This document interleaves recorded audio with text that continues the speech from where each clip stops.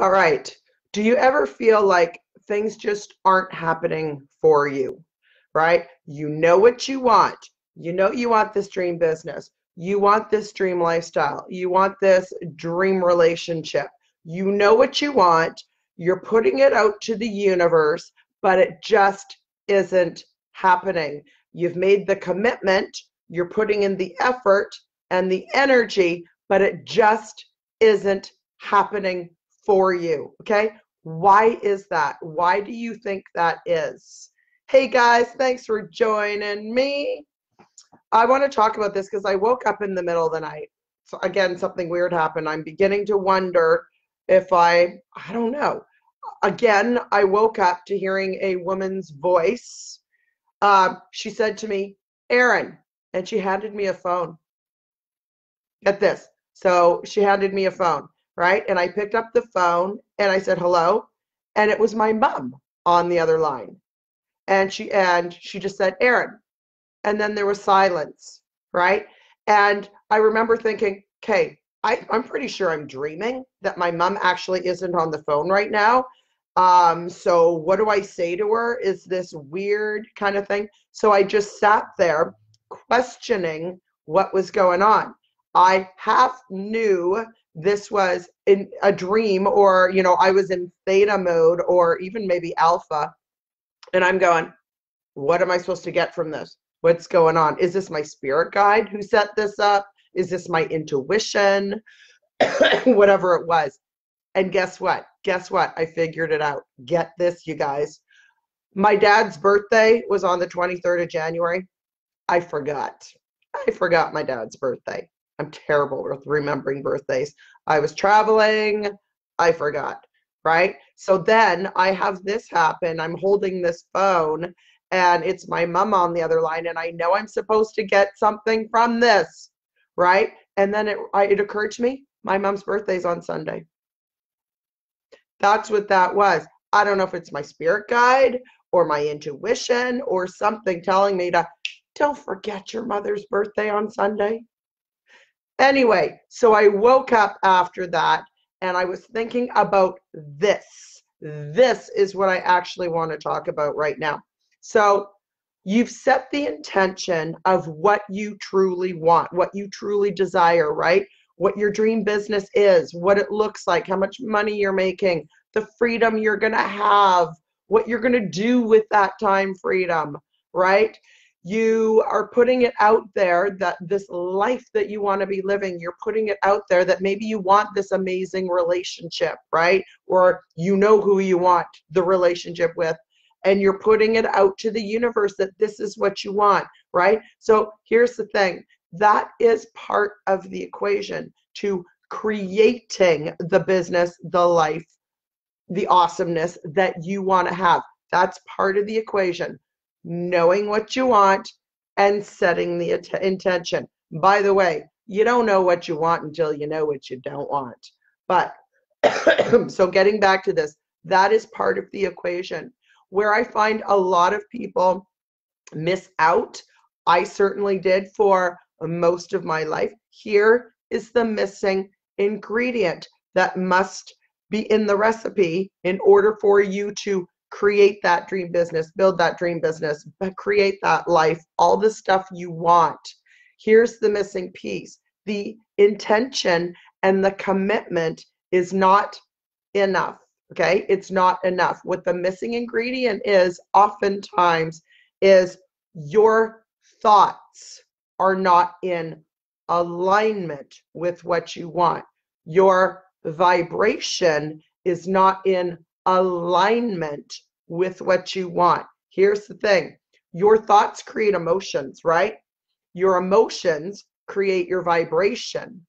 Your here's what you want. It's it's you know, you got you got stuff you desire, right?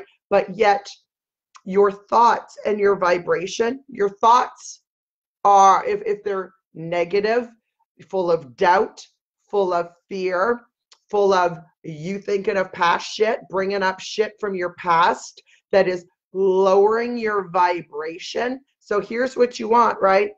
But your vibration is down here. They're not in alignment. They must be in alignment.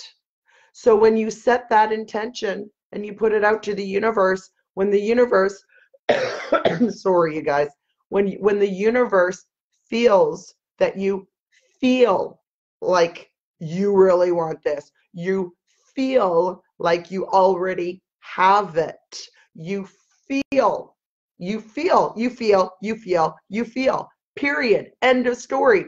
If you're putting out your intentions and there's no elevated emotion behind it they're not you're not in alignment with what you want and you will not get it. Okay? I've proven to myself this is true over the last 5 years i mean jesus christ i've raised my vibration so anytime i decide i want something now it happens yeah, I work real hard for it. I'm not saying I sit back on the couch and and drink my, you know, drink my cocktail and have it just fall in my lap. No, you got to work for it. You got to earn it. But I find that I get a lot more of what I want when I put the intention out there and then I make sure I'm a vibrational match for it. And then it happens easily. I'm not saying without effort, but it happens easily. Sometimes I'm sitting there going, oh my God, I put the intention out. Here's my goal. And then I ended up like, I end up doubling my goal kind of thing. It's weird. It's like, okay, I want to say bring five people in this week onto my team, right? And I put in the effort and I have the vibration. I raise my vibration, man. I get into what I'm doing. I fall in love with it, right? I set out to help a bunch of people and bam, I brought in 10 people onto my team this week. My goal for the week was five. That's pretty darn high right there. My goal was five, but I put it, the intention out. I got, I made my sure my my thoughts and my vibration were a match, and I ended up bringing in 10 people in six days. And I find that with every area of my life now, just because I know how to raise my vibration really quickly and keep my vibration really high, I get I hit my goals and I get way more of what I want because of that reason. And I look back on my life up until the last, you know, uh, five years, and I wasn't in alignment with what I really wanted. So no wonder I didn't get everything I wanted. I'm not playing the oh poor me card. I am not. I am not. You don't have to pity me by any means. Not what I'm talking about. It's just getting what I wanted, hitting goals was always so much harder back then when I wasn't a vibrational match than it is now. Does this make sense, you guys? Because this is really, really, really important. I can't stop coughing, but I wanted to do this video. Hey, Matthew. Um, but I wanted to do this video because I want to put that out there because you're going to make it so much easier on yourself. If you learn how to raise your vibration easily and effortlessly, and then keep your vibration really high as much as you can, and then put what you want out to the universe, okay? Seriously, like I know when my vibration is dipping because stuff will start to go wrong. It'll start going wrong. It's the damnedest thing. Weird things will start to go wrong. Like, oh, okay, universe, I'm hearing ya. I've fallen out of alignment. So I'm making all these weird things happen for me to show me that I'm out of alignment so I get myself back into alignment and am in a place where I can co-create what I'm truly wanting. so, does that make sense, you guys? Hey, Anita. Oh, is that right? Awesome, Anita. You're driving right now listening to me on Bluetooth. That's super cool.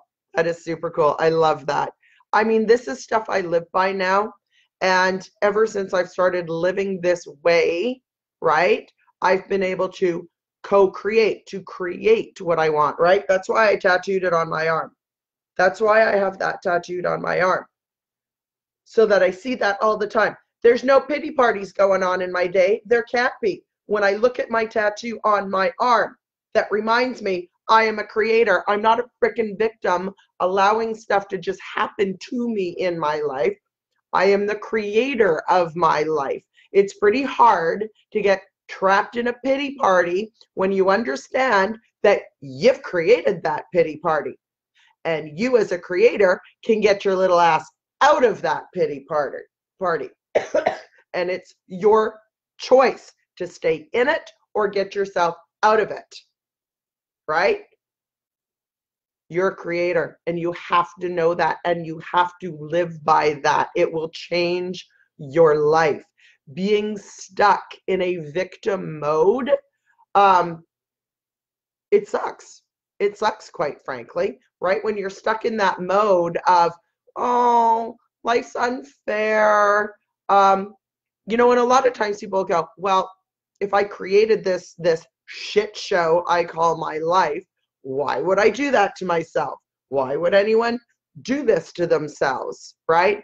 But there is a reason. You got to pay attention when you're you're handed opportunities, right? Something shitty happens in your life, you've got to look at it as an opportunity. Maybe this is a sign that you're supposed to pivot. You're supposed to go down a different path. You're supposed to take a different action. Sometimes we have to get slapped upside the head before we take action. You know, I think about my vehicle. I kept this vehicle that, God, I ended up putting so much money into it, right? And then I was driving home one night and it's pitch black, no street lights on the road, and the electrical system went. Um, I overheated the engine, the electrical system shut down. I lost all my lights, all my like my steering, my brakes, everything. I lost everything. I managed to pull over onto the side of the road and I kind of went, "All right, universe. I have heard you loud and clear. I'd have to be an idiot to not pay attention to this one sign. You've given me so many signs that I should bloody well get myself a new vehicle. Um, one of the other signs was I was going up a hill, so I stopped at some light. So I was on a hill. I'm in the left-hand turn lane, waiting to turn left. The light goes for me to turn, and I'm on this hill, right? So I go to press on the gas, and my truck started to roll backwards. I'm like, what the hell? Why am I rolling backwards? I'm pressing on the gas. Why am I rolling backwards? So I slam on the brakes, and I had to leave my vehicle there a rat had chewed through the wiring. So there I sat. I had to get it towed and the whole bit. So it's like the universe. I actually honestly believe if I had done one more repair on that vehicle and kept driving it, that God only knows what would have happened. I probably would have been in this huge accident. I don't know what would have happened. But I looked at that as all right, universe, you don't have to show me another sign. I'd be an idiot to not take action at this point in time. I've ignored the other four signs you've sent me. I'm not ignoring this one. I got a new car the next day. Not a brand new car because I don't need a brand new car. I travel half time.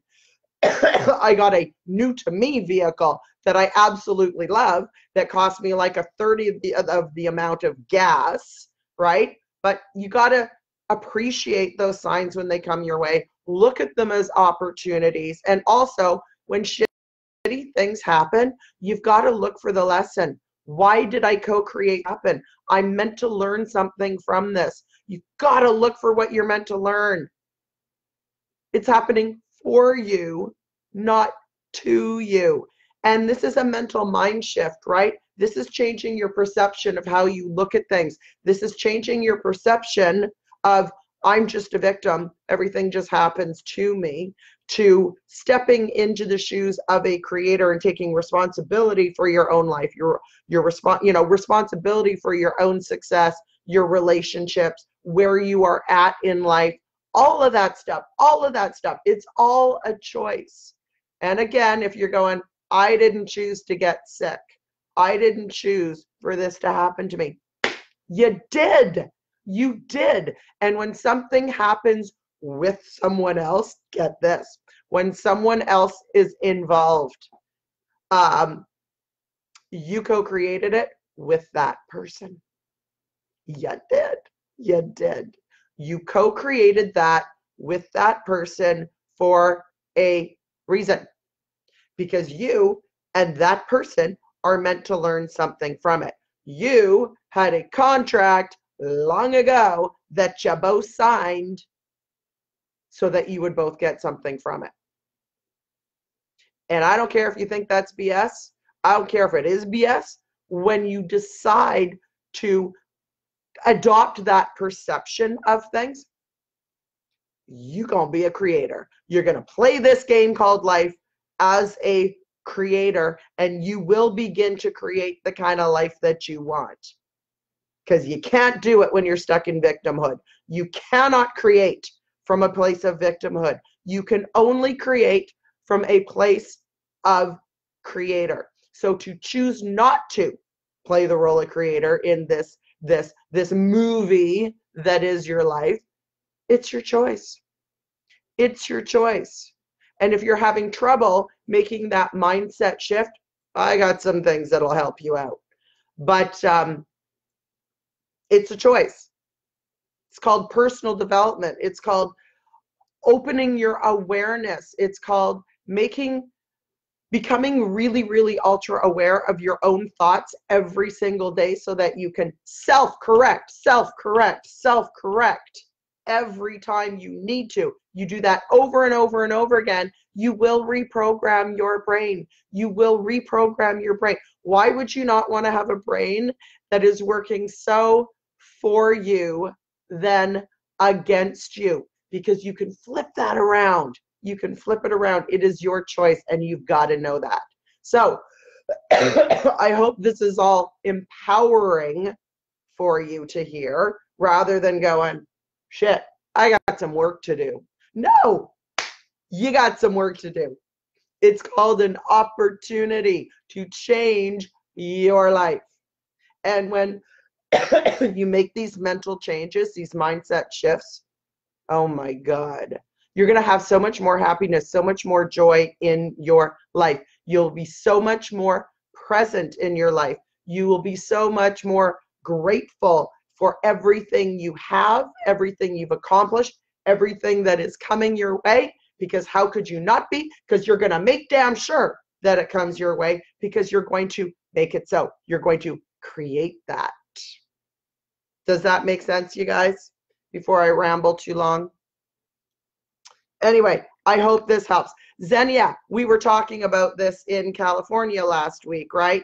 Co-creating stuff with somebody else for a reason, right? You have that crappy relationship with um, someone in your past, whether it be a family member, boyfriend, girlfriend, girl at school, whatever. You've co-created that for a reason, and I hope to God you got what you were meant to learn from it, right? It's an opportunity. It's an opportunity. Yeah, the vibrations are the energy. Yeah, to make it go right. Well said, Matthew. The vibrations are the energy to make it go right, to make it happen, to bring it to you, to attract it to you, right? Yeah, and then when it goes down, everything stops. but it stops, and then you simply need to get it back going, you know, back to going where you want it to go. Well said, Matthew. You were just in the elevator the other day with a guy uh, who was so shy. I've said hi so many times, and once again, the vibration stopped. He did not exchange contact info. Totally get it. Yeah, uh, and that has nothing to do with you. The thing is, too, I'm glad you brought this up, Matthew. So many people they're so stuck in their own way, their own head, and they think everything is about them right? So taking it personally. So Matthew being in the elevator and this guy maybe cowering and, and, ignoring him kind of thing. A lot of times people will take that personally and go, oh, there's something wrong with me. He doesn't want to talk to me. Maybe I'm too fat, too thin, too white, too dark, too too plaid, too freaking whatever, too tall, too short, right? We take it personally when, ah, uh, nothing to do with you. He's shy. He's insecure. He's full of fear. He's going for a job interview and he's a nervous wreck and doesn't want to forget what he's going to say in the job interview, so really doesn't want to talk to you. People have things going on in their own lives. People have their own security, their own fears. You know, it doesn't have anything to do with you pretty much all the time, right? The minute you talk talk stop taking things so personally is the day you are oh my god liberated absolutely liberated. Start living for you and not for other people quite frankly. You can only control one person in this life one thing and that's you. Stop trying to control things you have no control over that you have no business controlling. Like don't get your head so wrapped up into changing something that is beyond your control to change. Have you ever heard this phrase? Fix what you can and F all the rest. Fix what you can, F all the rest. If you're giving something so much of your emotional energy and your time and you're stressing out about it, yet you can't do anything about it, why? Why? Give up on it accept you can't change it and change the things you can change okay? It was at a joe dispenza event where he had a thing up on the screen and it was a quote from it wasn't the dalai lama but it was another um, another monk. And basically he was saying that screw everything you cannot change. Only worry about what you can change. Stop wasting your precious finite energy freedom, freedom. Swear to God, this this stuff is life changing, absolutely life changing. Anyway, that's it for me. I just did a video uh, for my live for my team, and I think my voice is now absolutely shot. Hey, Bonnie, how are you, darling? Hey, Lisa. So anyway, uh, on a side note, this has nothing to do with the video, but I've been putting it out there. I'm going to be doing a free, free three month coaching program for some people who want to come in and work with me.